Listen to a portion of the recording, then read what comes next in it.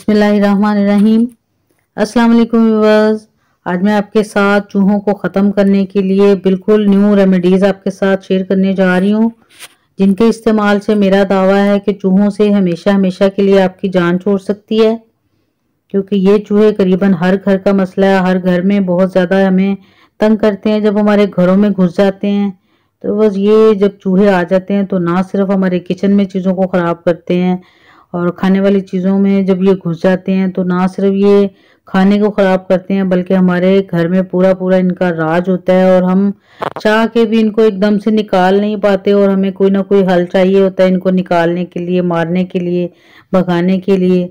तो बस आज की रेमेडीज़ इतनी ख़ास हैं, इतनी स्पेशल हैं कि मेरा दावा है कि अगर आप इनको ट्राई कर लेंगे तो आपकी ज़रूर इन चूहों से जान छूट सकती है। तो ये चूहे ना सिर्फ़ चीज़ों को ख़राब करते हैं, बल्कि बीमारियों को फैलाने का सबब भी बन जाते हैं। तो ये पुराने ज़माने में तो ये फ़सलों में या फिर खुली जगह पे, कच्ची जगह पे रहते थे, लेकिन जो जो ज़माना चेंज हो गया है तो चूहे भी थोड़े मॉडर्न हो गए। इन्होंने भी फ़सलों को जंगल बेलों को छोड़ के घरों का रुख कर लिया है। तो घरों में ना सिर्फ़ खाने पीने या कपड़ों वगैरह को ख़राब करते हैं, बाज़ दफ़ा तो ये हमारे कंप्यूटर वगैरह में घुस जाते हैं। और वह उसकी तारें इस तरह से काट के ये ख़राब कर देते हैं जैसे किसी बड़े ने की हों। और फिर हमारा आ, अच्छा खासा नुकसान हो जाता है जिसके लिए हम बहुत ज़्यादा फिर परेशान होते हैं कि इन चूहों से आखिर किस तरह हम छुटकारा पा जाएँ और घर में रहते हुए। बाज़ दफ़ा तो बाज़ार की महँगी महँगी अद्वियात और रेमेडीज़ भी काम नहीं करती और हमें बस इनके लिए कोई ना कोई हल चाहिए होता है। तो बस आज की रेमेडी बहुत ख़ास है बहुत स्पेशल है। अगर आप फ़ायदा उठाना चाहते हैं तो एंड तक ज़रूर देखिएगा। तो चलिए शुरू करते हैं। रहीम तो इसके लिए वो सबसे पहले आप देख रहे हैं कि पीनट थोड़ी सी बची हुई पीनट मैंने रख ली थी चूहों को भगाने के लिए। चूँकि सीजनल है खाते खाते अगर आप थोड़ी सी बचा लेंगे तो इससे भी आप चूहों को जो है वो निकाल पाएँगे अपने घर से। क्योंकि बहुत पसंदीदा गज़ा है ये जो अनाज वगैरह या मूंगफली है, चूहे बहुत ज़्यादा शौक से खाते हैं। तो सबसे पहले तो ये मूंगफली हम उन चूहों को अट्रैक्ट करने के लिए जो है अपनी रेमेडी में यूज़ कर रहे हैं। करीबन दो टेबल स्पून के बराबर बस मैंने ये मूंगफली ले लिया है। तो अब वह सबसे पहले इसको इस तरह से ये छोटा सा चटू बटा मेरे पास था। उसके साथ इसको मैं दरदरी सी पीस लूँगी। बहुत ज़्यादा बारीक फाइन पाउडर नहीं करना, बल्कि इसको थोड़ा सा दानेदार सा हम रखेंगे। और साथ ही बस अगर वीडियो आपको अच्छी लगे तो ज़रूर लाइक का बटन भी प्रेस करिए करिए। और ये आप देख रहे हैं कि बस दरदरा सा मैंने इसको पीस लिया मोटा मोटा सा। तो अब बस अपनी इस प्लेट के अंदर मैं इसको निकाल लूँगी। और इसको निकालने के बाद अब बस इसके अंदर एक टेबलस्पून भर के गंदम का आटा डालेंगे, क्योंकि गंदम का आटा भी चूहों को बहुत ज़्यादा पसंद आता है, बहुत शौक से खाते हैं।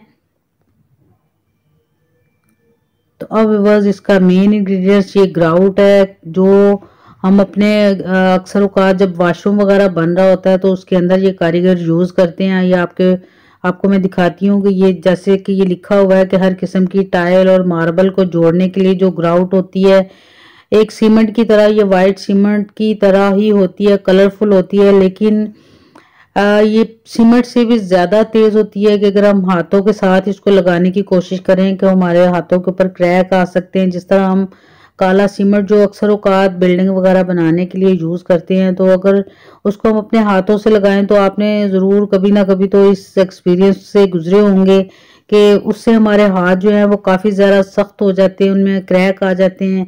तो ये ग्राउट बिल्कुल उसी तरह का है लेकिन ये उससे ज़्यादा इफ़ेक्टिव होता है ये टाइलों को, मार्बल को, पत्थर को जो है वो लगाने के काम आता है। तो बस इसका बस दो टेबल स्पून मैंने भर के ले लिए हैं। तो इन दो टेबल स्पून को सबसे पहले हम इस ये जो हमने पीनट और जो आटा, गंदम का आटा मिक्स करके रखा था, उसके अंदर इसको मिक्स कर लेंगे। ये हमारा मेन इंग्रेडिएंट्स है, इसको आप मिक्स नहीं कर सकते। तो अब बस इसको अच्छी तरह से सबसे पहले मिक्स कर लेंगे। जो मूंगफली और आटा और ये जो ग्राउंड मैंने लिया है और इसको अच्छा सा मिक्स करने के बाद अब एक ब्रेड का पीस अगर आपके पास पड़ा हुआ है तो आप वो यूज़ कर सकते हैं। अगर ये नहीं है तो आप किसी रोटी के ऊपर भी इसको यूज़ कर सकते हैं। चूँकि ब्रेड वगैरह, गंदम, अनाज, रोटी, ये चूहे सारी चीज़ें बहुत शौक से खाते हैं तो इसलिए आप इसमें कुछ भी ले सकते हैं। सबसे पहले हम चूहों को अट्रैक्ट करने के लिए ये सामान तैयार कर रहे हैं क्योंकि चूहे बहुत ज़्यादा चलाक होते हैं। थोड़ा सा भी अगर उनका भिनक भी पड़ जाए कि यहाँ कोई हमें मारने के लिए कोई चीज़ रखी गई है या फिर कोई जाल बिछाया गया तो वो वो वहाँ से ना तो वो चीज़ खाते हैं और ना ही वहाँ से गुजरते हैं। तो इसलिए ये थोड़ा सा उनकी अट्रैक्ट करने के लिए ये सारी चीज़ें हमें करनी पड़ती हैं। तो अब इस तरह सबसे पहले थोड़ा थोड़ा पानी लगा के हम इस ब्रेड को गीला कर लेंगे। और इस तरह गीला करने के बाद जो गीला वाला हिस्सा है, उसको इस तरह से इसके हमने जो बैटर सा तैयार किया, उसके साथ इसको ऊपर चिपका लेंगे। बहुत ज़्यादा गीला नहीं करना, अगर हम गीला कर लेंगे तो फिर ये चूहों के ऊपर काम नहीं करेगा। इसको सूखा सूखा ही हमने रखना है। तो ये आप देख रहे हैं कि दो पीस मैंने बना लिए और अब ये तीसरा पीस भी हम तैयार कर रहे हैं।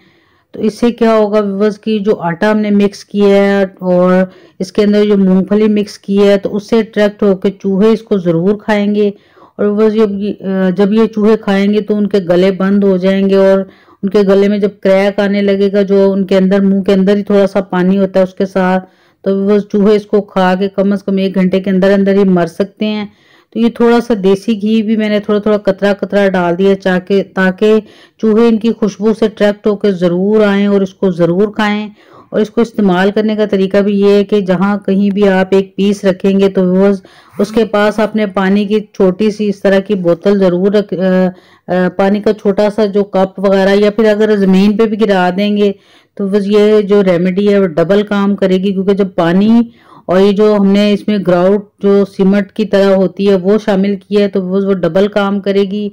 और चूहों का जब गला बंद होने लगेगा ऊपर से वो पानी पिएगा तो मुझे उम्मीद है कि चूहा इसको खाने के करीबन आधे पौने घंटे के बाद ज़रूर मर जाएगा और, कहीं ना कहीं आपको मरा हुआ मिलेगा। इतनी ज़बरदस्त और इफ़ेक्टिव रेमेडी है कि इसको बहुत सारे लोगों ने ट्राई किया और मुझे भी कहीं से पता चला है। तो मैं आपके साथ शेयर कर रही हूँ। उम्मीद है कि आपको बहुत अच्छी लगेगी बहुत पसंद आएगी। तो अब वो अपनी नेक्स्ट रेमेडी की तरफ़ चलते हैं, वो भी बहुत ईजी है, इसके लिए भी आपको बाज़ार नहीं जाना पड़ेगा।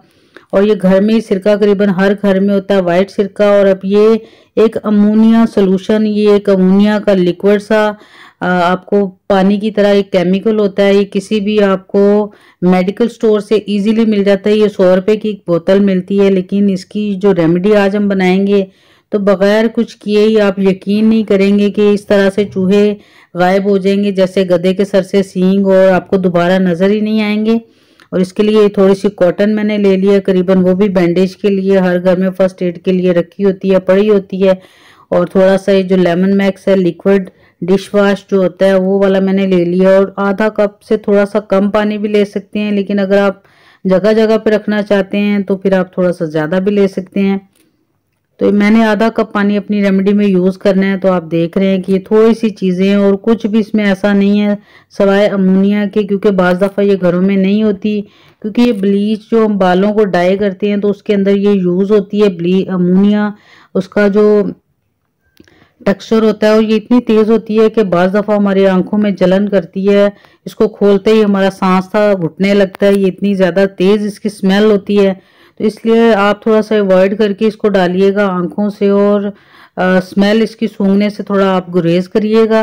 तो ये दो टेबलस्पून बस हम डालेंगे चूहों को हमने मारने के लिए ये तैयार करना है। तो इसलिए अगर आप वाकई चूहों से निजात चाहते हैं तो थोड़ा सा फिर आपको कंप्रोमाइज़ करना पड़ेगा। इसकी स्मेल काफ़ी तेज़ है आप मुँह को मास्क के साथ ढांप के भी इसको बना सकते हैं।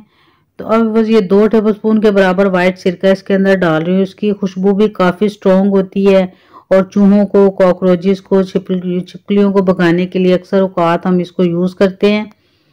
तो अब मज़ीद बस ये दो आ, दो टेबल स्पून के बराबर जो है ना ये थोड़ा सा मैंने लिक्विड डाल लिया। डिश वॉश लिक्विड वा वाश करने वाला कोई सा भी आप ले सकते हैं।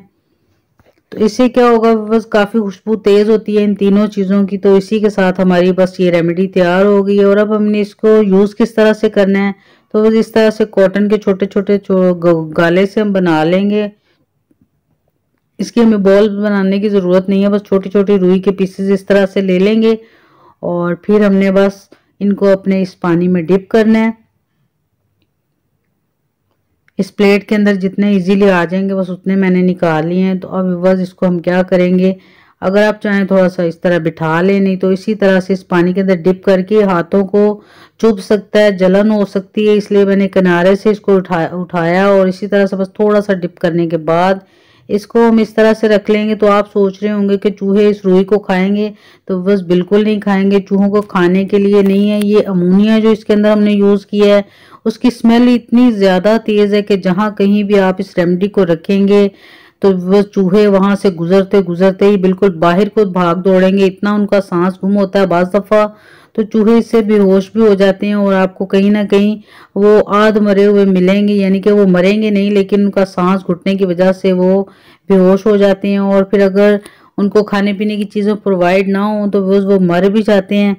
तो अब हमने करना क्या है कि इस तरह के ये जो रुई हमने डिप करके रखी हुई थी, इसको हम ये पहले दो पीसेस में डाल लेते हैं। ये बच्चों के खिलौने की तरह ये हम अक्सर अवकात इसको खीर वाले बर्तन, खीर बना के इसमें बांटते भी हैं, बच्चों में तकसीम करते हैं। तो ये वो वाले बर्तन वेस्टेज में पड़े हुए थे, वो मैं यूज़ कर रही हूँ। आप भी इसके लिए वो बर्तन यूज़ करिएगा जो बिल्कुल आपके अपने खाने के लिए नहीं है, क्योंकि बहुत ज़्यादा स्ट्रॉन्ग इसकी स्मेल होती है और कच्चे बर्तन से तो बिल्कुल नहीं जाती। तो अब हमने करना क्या है कि इसको जहाँ जहाँ आपको लगे कि चूहे बहुत ज़्यादा तंग कर रहे हैं, आ जा रहे हैं तो फिर आपने उस जगह पे इस मटेरियल को रखना है, इन पीसेस को रखना है और फिर वक्तन व वक्तन इनके ऊपर इस पानी को डालते भी जाना है क्योंकि जब तक ये गीला रहेगा, इसकी स्मेल आती रहेगी तो वो इसकी स्मेल से ही चूहे भाग जाएँगे और आपकी इन चूहों से जान छोड़ सकती है।